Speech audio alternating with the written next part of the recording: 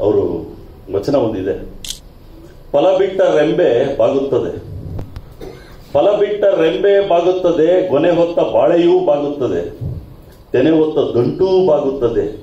ಏನೇನು ಇಲ್ಲದ್ದು ಮಾತ್ರ ಬೀಗುತ್ತದೆ ನೋಡ. ಬಹಳ ಜನ ನಾನು ಮಾಡಿದೆ, ನನ್ನಿಂದ ನಾನದು, ನಾನಿದು ಅಂತ ಹೇಳ್ತಾರೆ.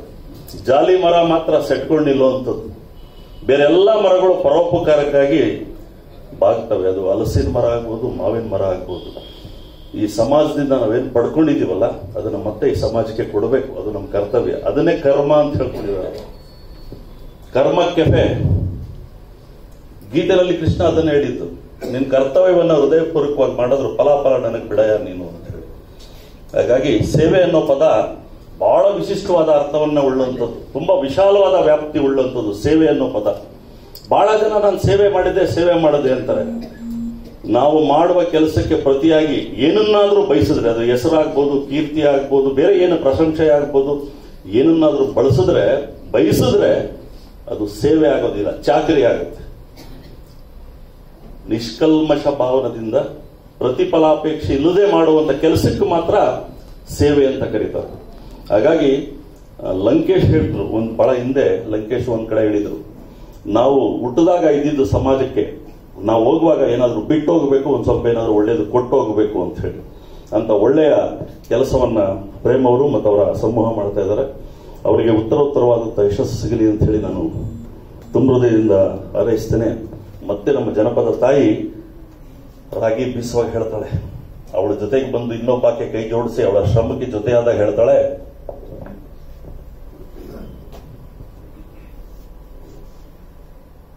ಎದೆಯ ಭಾರವನ್ನು ಇಳಿಸಿಕೊಳ್ಳಿಕ್ಕೆ ಅವಳ ಬದುಕಿನ ಬವಣೆಗಳನ್ನೇ ಆಡಾಗಿ ಕಟ್ಟಿ ಮಸ್ತಕವನ್ನೇ ಪುಸ್ತಕ ಅಂತ ತಿಳ್ಕೊಂಡಂತ ನಿರಕ್ಷರ ಕುಕ್ಷಿ ಜನಗಳ ಸಾಹಿತ್ಯ, ಜನಪದ ಸಾಹಿತ್ಯ. ಅದು ಬೆವರಿನ ಸಂಸ್ಕೃತಿಯಿಂದ ಬಂದದ್ದು.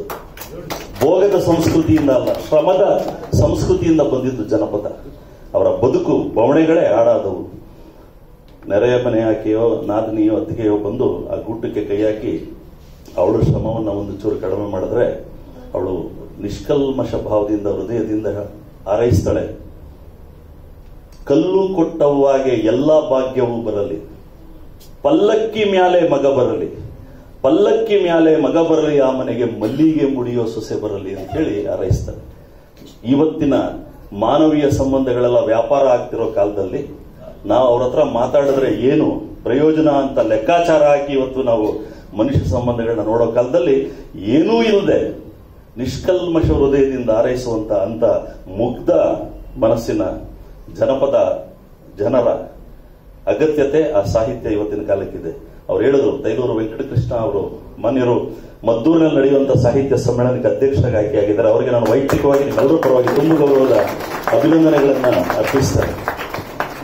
ಅವರೊಂದು ಜ್ಞಾನಸಾಗರ ಇದ್ದಾಗೆ, ವಿಶ್ವರೂಪಾಚಾರ ಇಲ್ಲಿರೋರೆಲ್ಲರೂ ಕೂಡ ತುಂಬಾ ಅವರವರದೇ ಕ್ಷೇತ್ರ ದೊಡ್ಡ ಸಾಧನೆ ಮಾಡಿದವರು. ಹಾಗಾಗಿ ಇವತ್ತು ಮನೆ ಮತ್ತು ಮನಸ್ಸುಗಳನ್ನು ಮುರಿಯುವಂತ ಧಾರಾವಾಹಿಗಳು, ಮನುಷ್ಯ ಸಂಬಂಧಗಳಿರೋ ಕಾಲದಲ್ಲಿ ಮನಸ್ಸುಗಳನ್ನ ಮತ್ತು ಮನೆಗಳನ್ನ ಕಟ್ಟುವ ನಿಜದ ಅರ್ಥದಲ್ಲಿ ಮನುಷ್ಯರ ನಡುವೆ ಗೋಡೆಗಳನ್ನ ಕಟ್ಟುವ ಇರುವಂತ ಕಾಲದಲ್ಲಿ ಮನುಷ್ಯರನ್ನ ಮತ್ತು ಮನಸ್ಸುಗಳನ್ನ ಕಟ್ಟುವ ಇಂಥ ಸಾಂಸ್ಕೃತಿಕ ಕಾರ್ಯಕ್ರಮ, ಸಾಮಾಜಿಕ ಕಾರ್ಯಕ್ರಮವನ್ನು ಮಾಡ್ತಿರುವಂತಹ ಪ್ರೇಮ್ ಮತ್ತು ಅವರೆಲ್ಲ ಬಳಗಕ್ಕೆ ನಾನು ವೈಯಕ್ತಿಕವಾಗಿ ತುಂಬ ಗೌರವದ ಅಭಿನಂದನೆಗಳನ್ನ ಸಲ್ಲಿಸಿ ಎಲ್ಲ ಸಾಧಕರನ್ನ ಒಂದೇ ಮಾತಿನಲ್ಲಿ ಅಭಿನಂದಿಸ್ತೇನೆ. ಕನ್ನಡದ ಬೆಳಗಿನ ವಚನಕಾರ ಅಲ್ಲಮ ಪ್ರಭು ತನ್ನ ಒಂದು ವಚನದಲ್ಲಿ ಹೇಳ್ತಾನೆ, ಮರದೊಳು ಮಂದಾಗ್ನಿಯನ್ನು ಆರಿಗೂ ಅರಿಯದಂತಿರಿಸಿದೆ.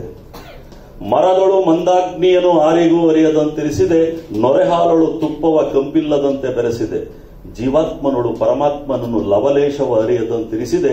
ನಿನ್ನ ಬೆಡಗ ಕಂಡು ಬೆರಗಾದೆನೆಯ ಇವೆಲ್ಲರೂ ಕೂಡ ನೋಡಿ ರಾಮಯ್ಯನವರು ಎಷ್ಟು ಸರಳರು. ಎಷ್ಟು ಸೌಮ್ಯತೆ ಮೂರ್ತಿ. ಅವರು ನೂರಾರು ಬಾರಿ ರಕ್ತದಾನವನ್ನು ಮಾಡಿದ್ದಾರೆ. ಮಾನವೀಯತೆಯ ಸಾಕಾರ ಮೂರ್ತಿ ಯಾರಿಗಾದ್ರೂ ಕಾಣಿಸ್ತಾರ? ಇವತ್ತು ಸಣ್ಣದೊಂದು ಕೆಲಸ ಮಾಡಿದ್ರೆ ಒಂದು ದೇವಸ್ಥಾನಕ್ಕೆ ಟ್ಯೂಬ್ ಲೈಟ್ ಕೊಟ್ರೆ ಇಷ್ಟು ದಪ್ಪದಾಗಿ ಹೆಸರಾಗ್ತಾರೆ. ಕೊಡುಗೆ. ಆದ್ರೆ ಟ್ಯೂಬ್ ಲೈಟ್ ಶಾಶ್ವತ ಅಲ್ಲ, ಅದು ಬದನಾಗ ಹೋಗ್ಬಿಡುತ್ತೆ. ಇಡೀ ಜಗತ್ತಿಗೆ ಬೆಳಕು ಕೊಡೋ ಸೂರ್ಯ ಎಲ್ಲಾದ್ರೂ ಬೋರ್ಡ್ ಹಾಕೊಂಡಿದ್ದಾನೆ? ಒಂದು ಫ್ಯಾನ್ ಕೊಟ್ರೆ ಅದ್ರ ಮೇಲೆ ದೊಡ್ಡ ಹೆಸರು, ಕೊಡುಗೆ. ಮನುಷ್ಯ ಮಾತ್ರ ಇದನ್ನೆಲ್ಲ ಬಯಸ್ತಾರೆ. ಅದಕ್ಕೋಸ್ಕರ ಅಲ್ಲಮ್ಮ ಪ್ರಭು, ಮರದೊಳು ಮಂದಾಗ್ನಿಯನ್ನು ಆರಿಗೂ ಅರಿಯದಂತಿರಿಸಿದೆ. ನೊರೆ ಹಾಲೊಳು ತುಪ್ಪವ ಕಂಪಿಲ್ಲದಂತೆ ಬೆರೆಸಿದೆ. ಜೀವಾತ್ಮನೊಳು ಪರಮಾತ್ಮನನ್ನು ಲವಲೇಶವ ತಿಳಿಸಿದೆ. ನಿನ್ನ ಬೆಳಗ ಕಂಡು ಬೆರಗಾದನೆಯ. ಇನ್ನೊಬ್ಬರಿಗೆ ಜೀವ ಕೊಡುವಂಥವ್ರು ನಾವು ಪರಮಾತ್ಮ ಅಂತೀವಿ ನಿರಾಕಾರ ಅವನು. ಹಾಗಾಗಿ ಸಾಕಷ್ಟು ವಿಷಯ ಮಾತಾಡ್ಬೋದು. ಸಮಯದ ಕೊರತೆ. ಮತ್ತೊಮ್ಮೆ ತಮ್ಮೆಲ್ಲರಿಗೂ ನಮಸ್ಕಾರ. ಸಿರಿಗನ್ನಡಂ ಗೆಲ್ಗೆ ಸಿರಿಗನ್ನಡಂ